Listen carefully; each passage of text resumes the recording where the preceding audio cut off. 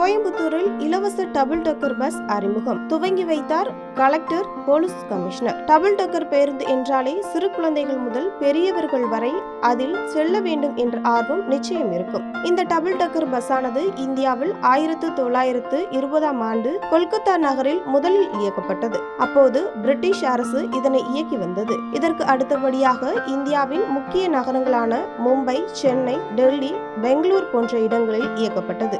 தமிழ்நாட்டை பொறுத்தவரை பாலங்கள் அதிக அளவில் கட்டப்பட்டு வந்ததால் இந்த டபுள் டெக்கர் பேருந்து சேவையானது இரண்டாயிரத்தி எட்டாம் ஆண்டு முதல் நிறுத்தப்பட்டது. இதனிடையே பொதுமக்கள் மகிழ்விக்கும் விதமான டபுள் டக்கர் பேருந்தை கோயம்புத்தூர் விழாவில் மீண்டும் அறிமுகம் செய்தனர். இந்த ஆண்டு பதினாறாவது பதிப்பாக துவங்கியுள்ள கோவை விழாவில் இரண்டு டபுள் டக்கர் பேருந்துகளை அறிமுகம் செய்துள்ளனர்.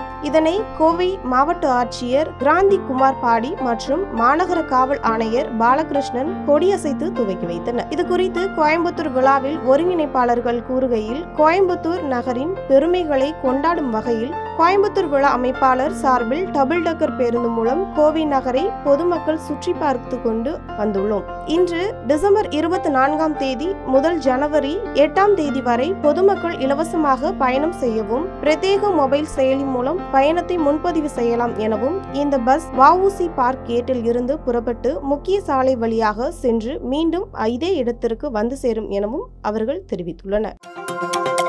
Música